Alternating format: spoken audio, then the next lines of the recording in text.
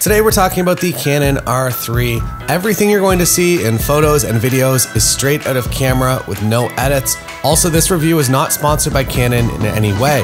I purchased this camera with my own dollars from my local camera shop, BJ Photo. Go check them out if you're in the Kitchener, Waterloo slash Toronto, Canada area.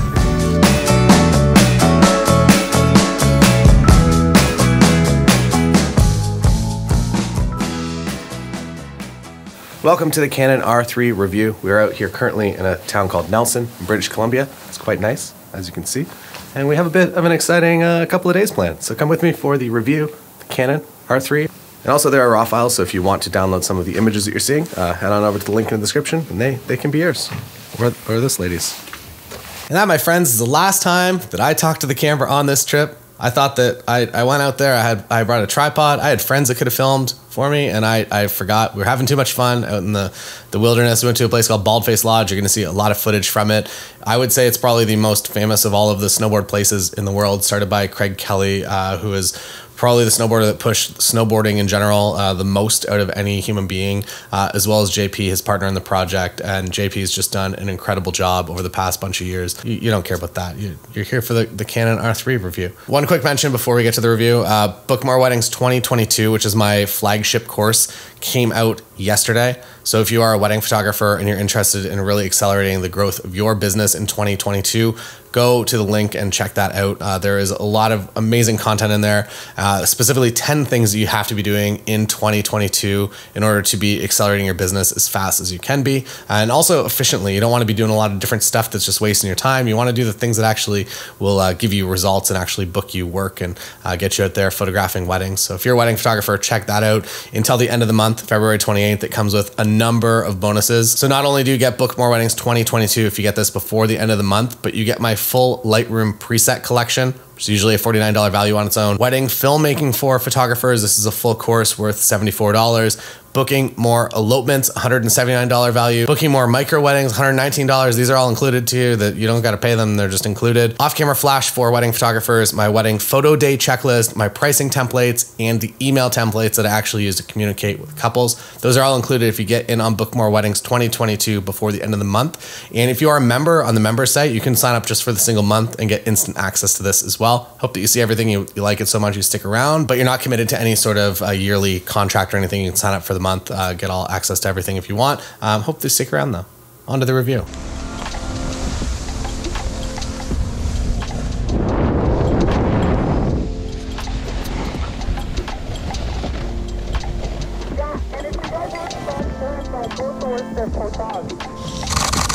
Oh yeah.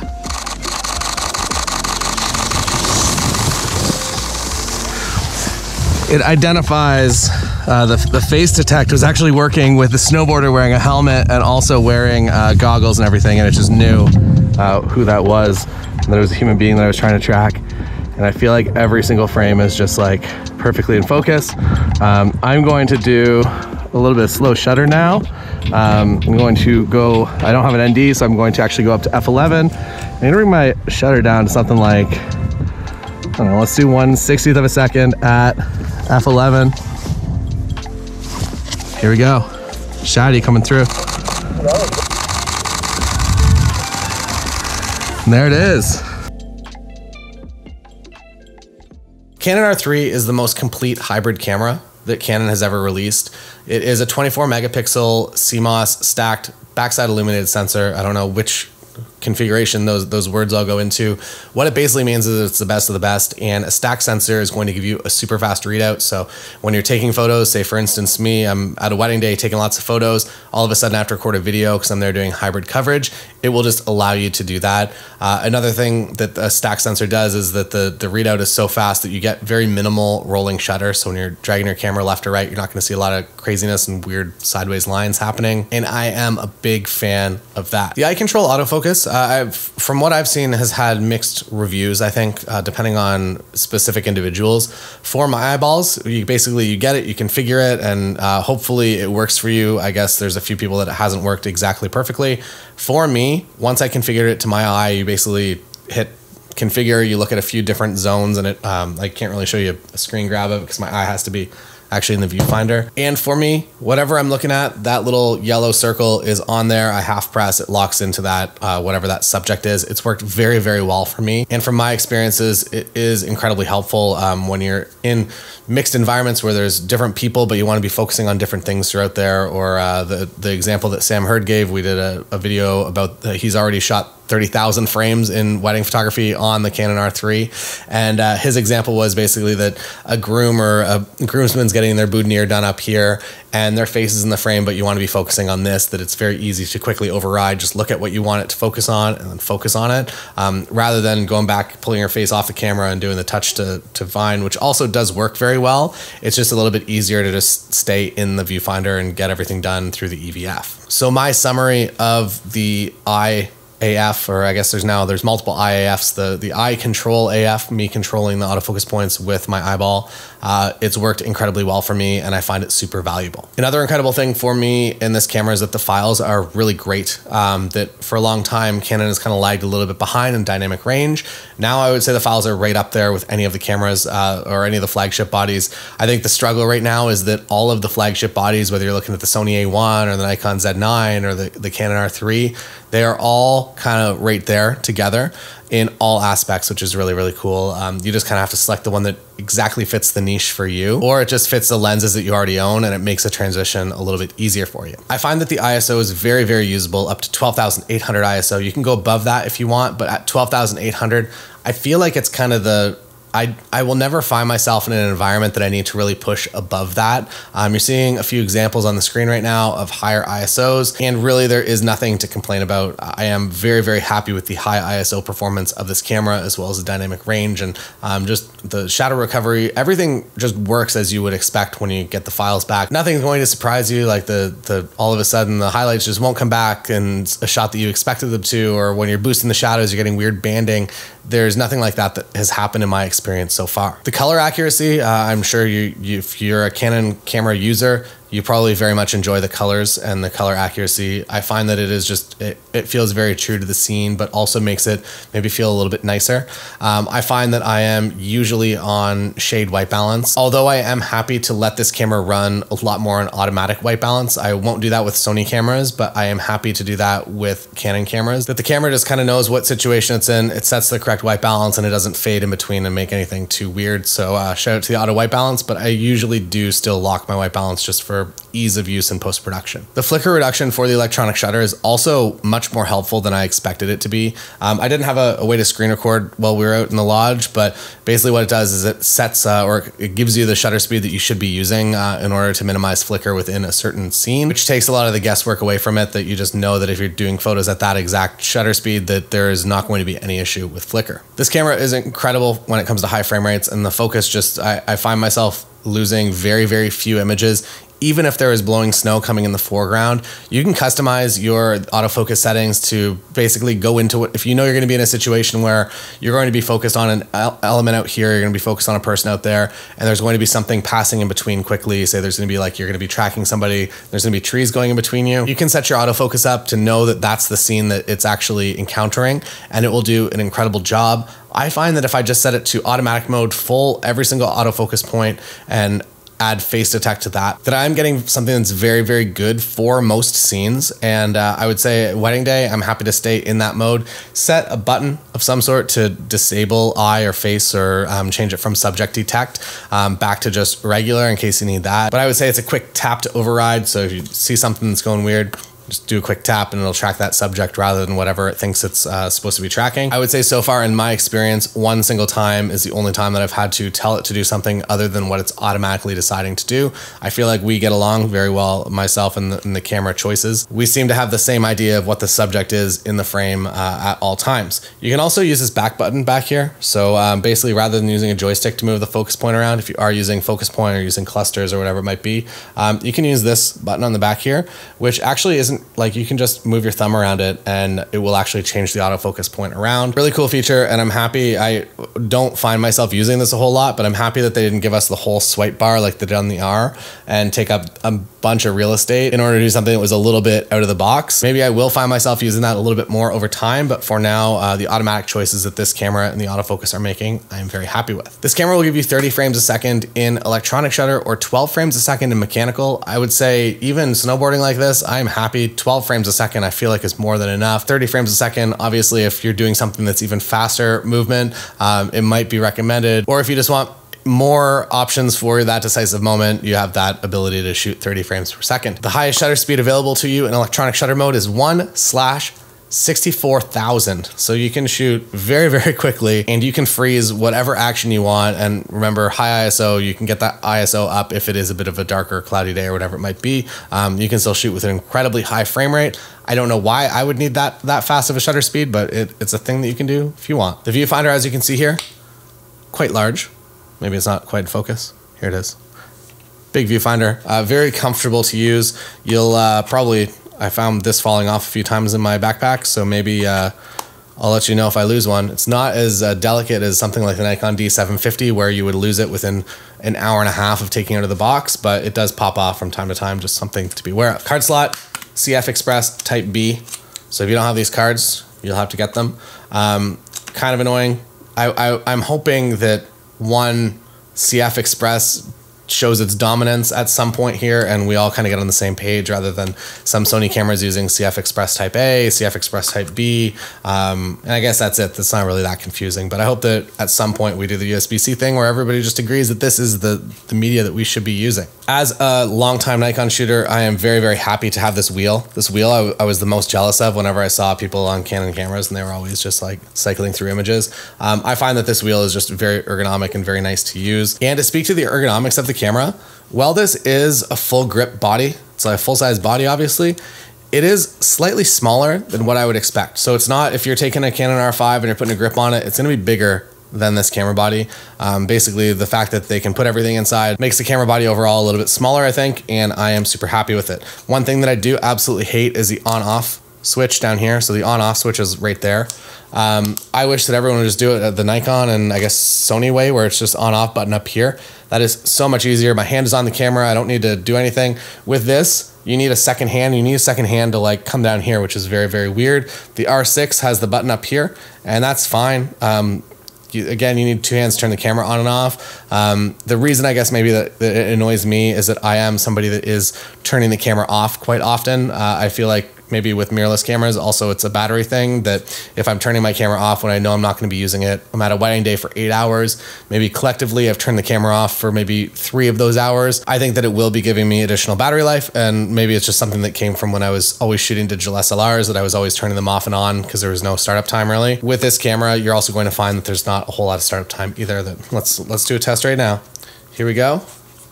On. Yeah, basically you're pretty much good to go instantly within maybe a half second, quarter second. I'm sure somebody's done the math, but it is more than fast enough to be turning it off and on if you're not using it. Um, again, just a bit annoying. It's actually more ergonomic if you're using the grip, so your fingers here doing photos, that you can actually have access to this with uh, with one hand. To speak to the gripped body in general, I don't love using one. This is my camera. This is the camera that I'm going to be using for wedding days. And in a wedding day environment, it's awesome. It's great.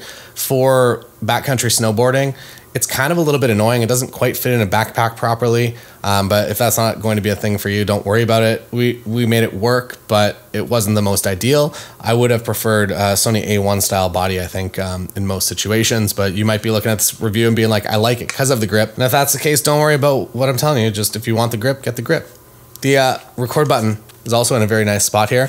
So when you are using the camera like this, if you're using the, the vertical grip, there's no record button easily there for you. But if you're recording a normal landscape style video, um, I find that I like the record button there a lot. That I'm very much used to kind of having it up here, and my brain very quickly got used to this. And this feels a little bit more comfortable to me now. Um, I don't know if it's just because I've been using this camera exclusively for the past week or so, um, but I very, very much like having the record button there. Um, to speak to something that is important to hybrid shooters, you can record videos from photo mode. So this was an issue for the Canon R6, which is super annoying.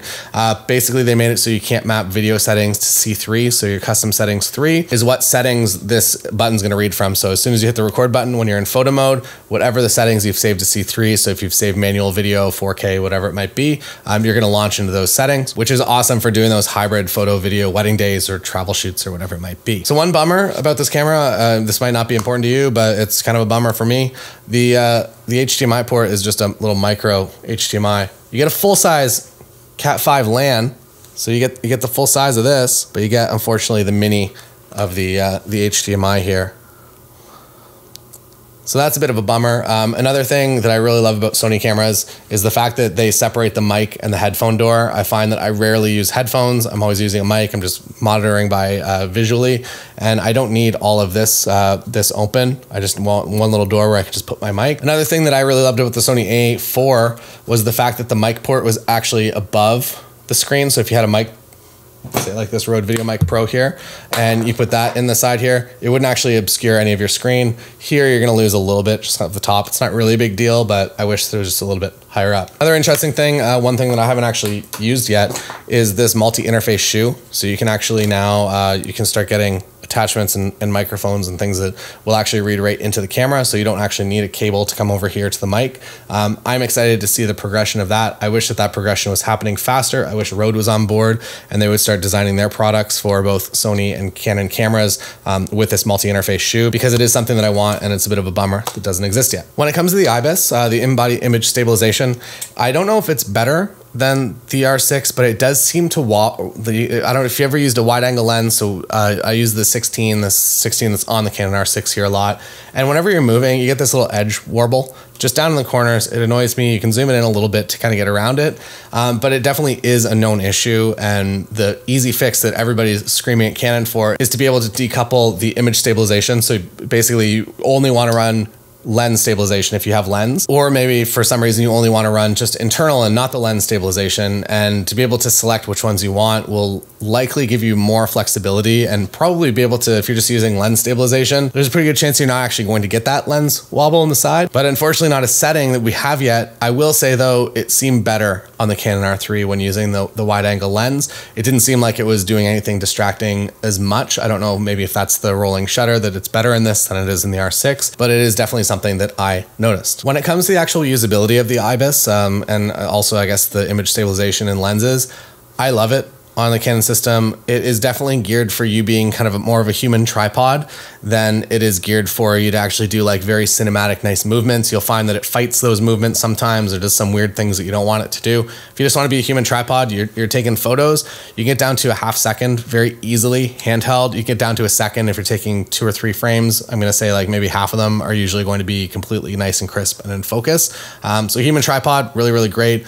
Moving, beautiful cinematic movements not really there yet. And I really am hoping that that gets a little bit better. But I will say that Canon and Nikon, ah, I, I, they used to have all of my favorite IBIS and, and, stabilization, but now with Sony's active stabilization that's going to be coming out on their newer cameras, as well as the, the A4 and the A7 III, and I believe the A1, uh, is that the active stabilization on that is really, really good, and it definitely impressed me. So I would now rank Sony strangely above that, but you get a little bit of crop whenever you actually put in active stabilization, where you get no crop in this. So I guess something to think about. But I will say that again, all of these cameras uh, just deliver amazing, stable video footage, photos out of camera. To talk about the screen, you get this full articulating screen, which is not something you see on the other flagship cameras. So if that's something that's important to you, uh, you do have access to that. I will also say in bright sun, very easy to use the screen and very easy to use the EVF. I have found that Sony screens specifically have been a little bit difficult to see in bright light. Even when the screen is set to high, I will say that just out in the world, you're gonna have a pretty good time with the screen. You're gonna be able to see what you're doing.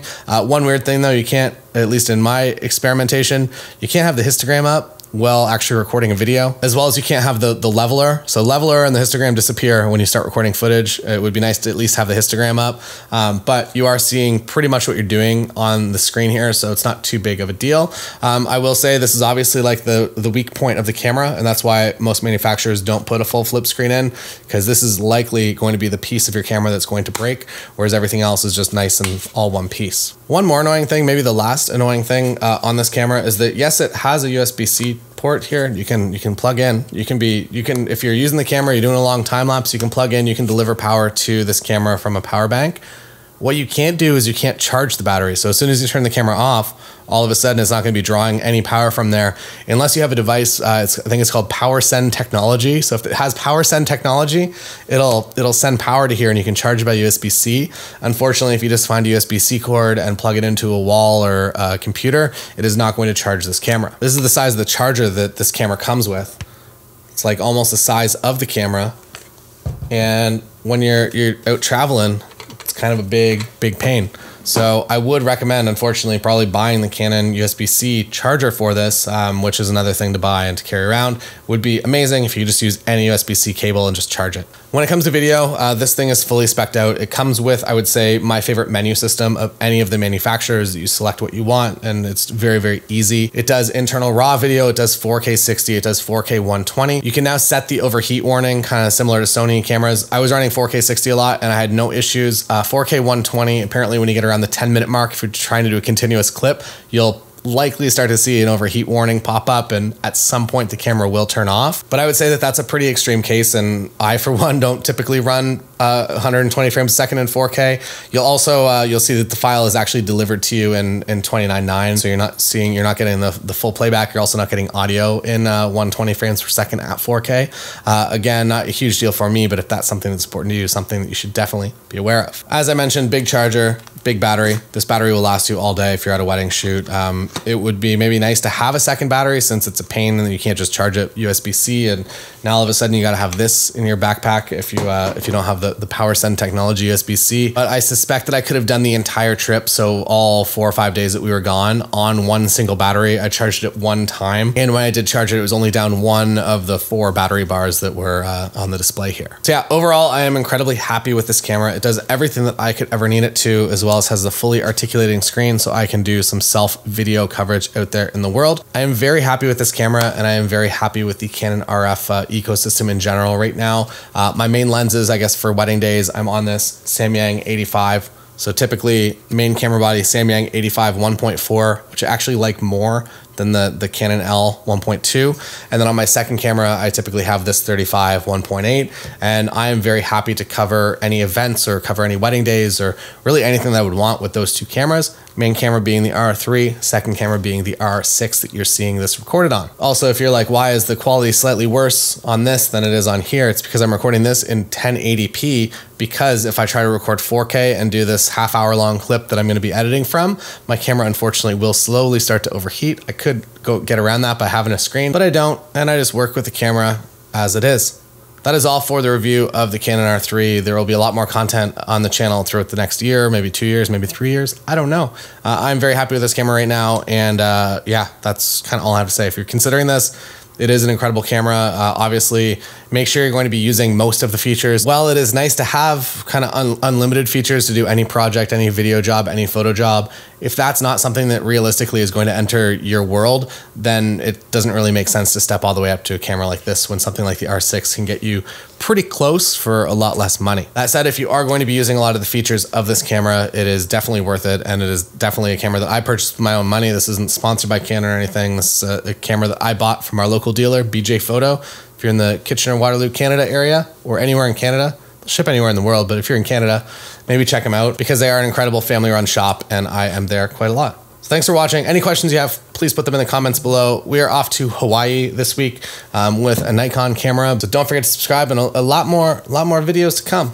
Don't forget, Book More Weddings 2022 out now. Go get it uh, before the end of the month, before the end of February, and you can get all the bonuses with it, or you can just sign up to the member site and, and get access to, to all that as well. Thanks for watching, and I'll see you again on another time.